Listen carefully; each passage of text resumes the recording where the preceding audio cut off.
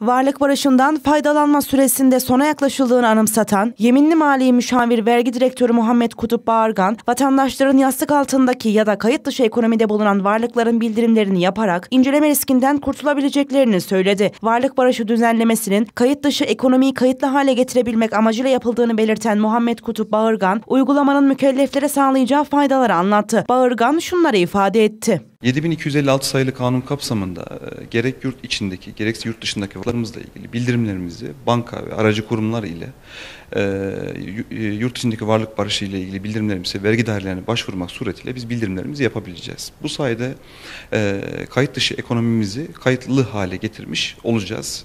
Devlet bu yasa ile birlikte amaçladığı şeylerden bir tanesi kayıt dışı ekonominin kayıtlı hale getirilmesi. Peki mükelleflerimize nasıl bir fayda sağlıyor dersek örneğin bildireceğimiz e, kıymet, para, menkul kıymet veya da döviz veya taşınmaz ise biz bunu artık kayıtlı hale getirebileceğiz ve bildirimini yaptığımız bu kıymetlerle ilgili Maliye Bakanlığı'nın denetim birimleri tarafından herhangi bir şekilde denetlenmeyeceğiz.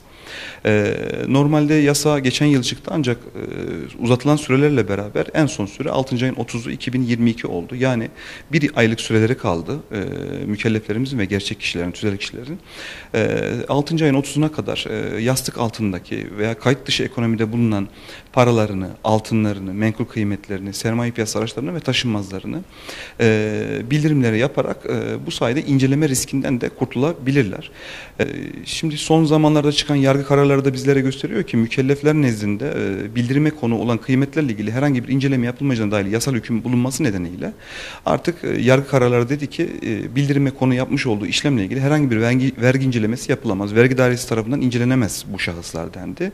Dolayısıyla eğer biz mükellef isek Türkiye içerisinde e, bildirime konu bir paramız var ise kayıt dışılığımızı teşkil eden ya da kayıt dışı ekonomiden kazandığımız 1 milyon 2 milyon TL paramız var ise bu bildirime konu ederek e, vergi incelemesi riskinden de kurtulmuş oluruz. Son gün son tarih 6. ayın 30'u varlık barış.